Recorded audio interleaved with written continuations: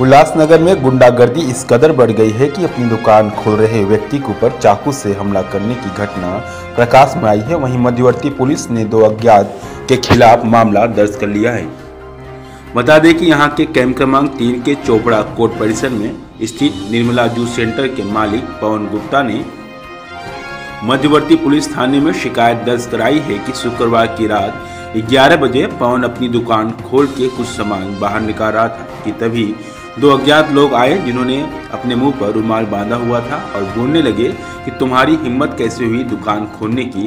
ये बोलकर पवन गुप्ता को पीटने लगे और चाकू निकाल के गुप्ता को बुरी तरह से घायल कर भाग गए। वहीं मध्यवर्ती पुलिस थाने ने दो अज्ञात के खिलाफ मामला दर्ज कर लिया है। वहीं पवन गुप्ता ने पत्रकारों को बताया कि यह जानलेवा हमला मेरे ऊपर ओमी कालानी के कार्याध्यक्ष पंकज तिलोकनी, मनीष हिंगोरानी और रोशन मखीजा के इशारे पर हुआ है। वहीं रोशन मखीजा ने कैमरे के सामने तो कुछ भी बोलने से इनकार किया और ऑफ़ कैमरा मखीजा ने उसके आरोपों को दरकिनार करते हुए बोला कि ये मामला से हमारा कोई लेना देना नहीं।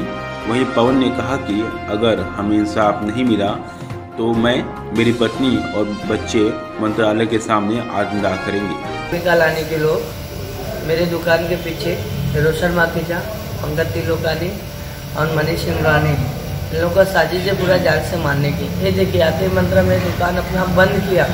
मैं थोड़ा दुकान बंद करके मेरा जो मेरी कीमती सामान है, मैं साइड में करूँ। और लोग आके डायरेक्ट मेरा गला दबाए और बोलते, तेरी औकात कैसे हुआ है? शटर उठाने का।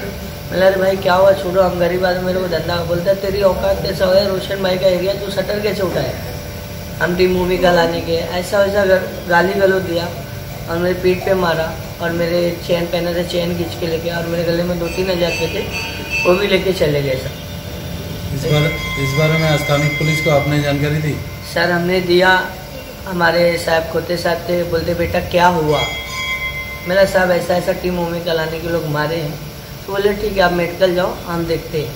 हम देखते हैं माना वो देखते ही रहेंगे कुछ करेंगे नहीं। हम देखते हैं। और हमारा सुधाकर साहब है, हमारे ऊपर ऐसा ऐसा आरोप लगाए, भाई, हर पुलिस चौकी में इसके ऊपर गुना दर्ज है, तीन से चार गुना दर्ज है। और पहली बात, मैं व्यापारी हूँ, मैं गुनेगार नहीं हूँ।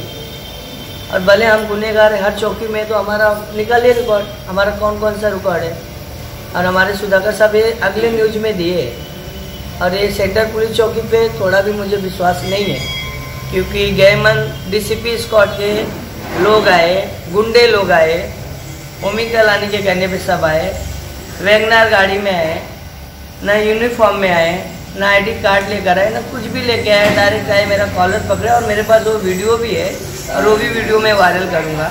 और लोग हैं, मेरी वाइफ को और एक नीता गौड़े को करके और मेरे ऊपर खोटा खोटा गुना दाखिल कराया। इन्होंने मेरे को जेल जलवाया और छः कलम डाला। ऑन ड्यूटी पे कर्मचारी को मारना हमको किस बेस पे मालूम पड़ेगा ये ऑन ड्यूटी है?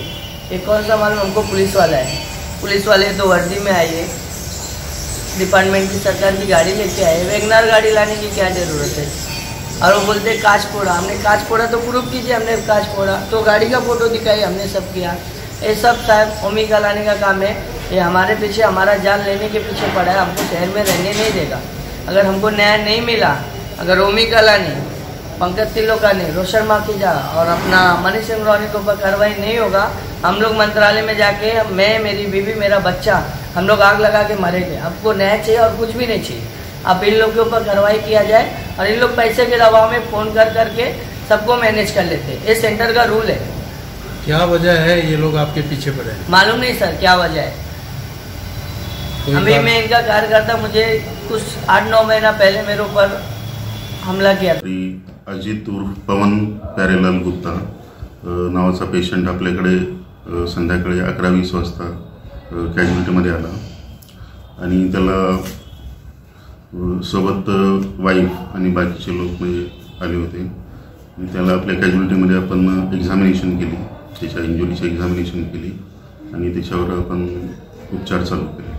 सर इंजुरी किती डीप आहे आणि कुठे कुठे इंजुरी झाली त्याला इंजुरी डोक्यावर आहे. एक समोरच्या बाजूला. त्यानंतर मानेवर. मानेवर पण समोरच्या बाजूला. त्यानंतर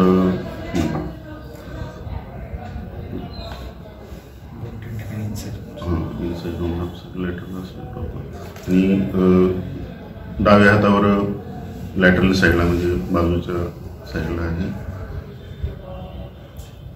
मला काय वाटतं इंजुरी कशा प- कशा प्रकारे असेल म्हणजे को- काय हत्यार वापरलं असेल? इंजुरीसाठी तर चाकू किंवा ब्लेड म्हणजे शार्प वेपनांचा वापर झाला असा आता त्याची प्रकृती कशी आहे?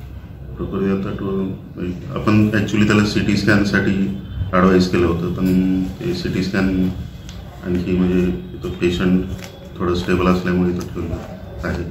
पण सी टी स्कॅन त्याला करणं गरजेचं आहे. कारण डोक्यावर जो मुठा मार लागलेला आहे. रेफर केलं आहे डॉक्टर हां कळवा हॉस्पिटल सी टी स्कॅनसाठी कळवा हॉस्पिटल शिवाजी हॉस्पिटल कळवा तिथं आपण रेफर केलेलं आहे.